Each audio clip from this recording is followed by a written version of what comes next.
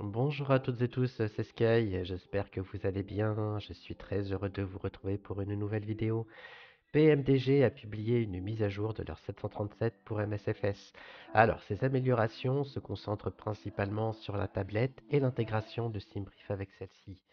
Ceux qui ont téléchargé l'avion via le SimMarket seront heureux de savoir que la version PC est disponible depuis le jeudi 30 novembre 2023, évidemment. Malheureusement, ceux qui possèdent la version Xbox devront attendre un peu plus longtemps car le processus de test a remonté une anomalie empêchant la mise à disposition de la tablette sur cette plateforme. PMDG travaille actuellement avec Microsoft à la résolution de ce problème.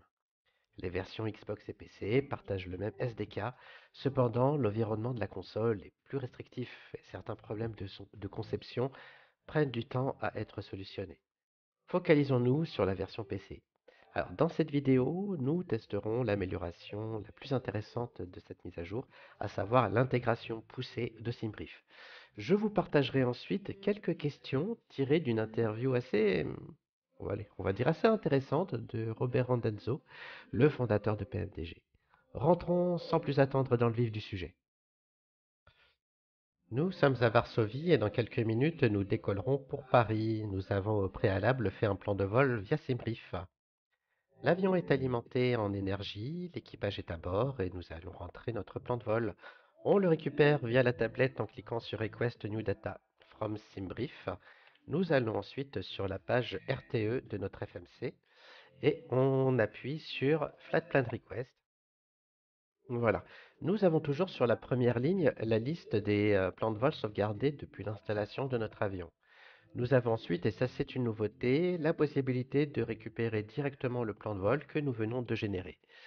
Nous cliquons dessus et hop, nous avons notre aéroport euh, de départ, d'arrivée, notre aéroport de déroutement, notre altitude de croisière, le cost index, la distance, le zero fuel weight, la réserve et le bloc fuel. Nous cliquons euh, ensuite euh, sur Select RTO et hop, le flight plan request se fait automatiquement. Nous attendons que, les informations se téléchargent dans l'ordinateur de bord. Hop, route uplink ready. Donc on load et on clique sur activate.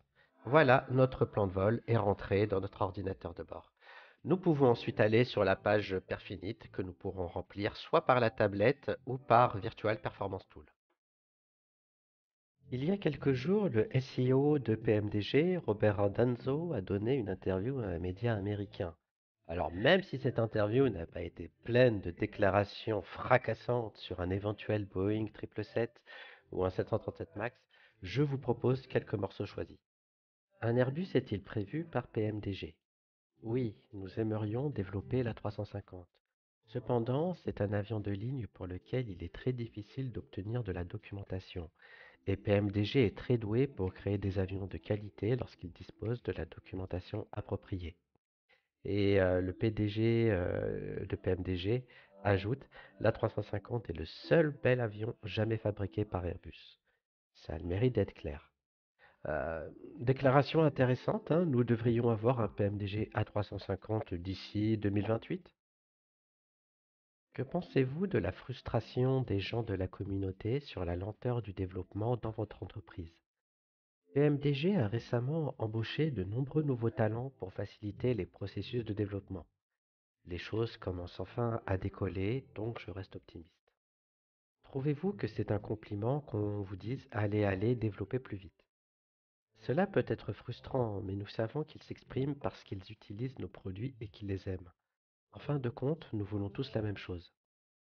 Et enfin, dernière question, la tablette va-t-elle être disponible sur tous les produits, les 777, 757 et 747 Et là, la réponse est pour le moins euh, claire et nette, oui. Je pense que cette interview n'avait comme seul but que de calmer le mécontentement grandissant de la communauté sur le manque de progrès dans les développements de PMDG. J'espère que cette vidéo vous a plu. N'hésitez pas à laisser un commentaire, un pouce vers le haut.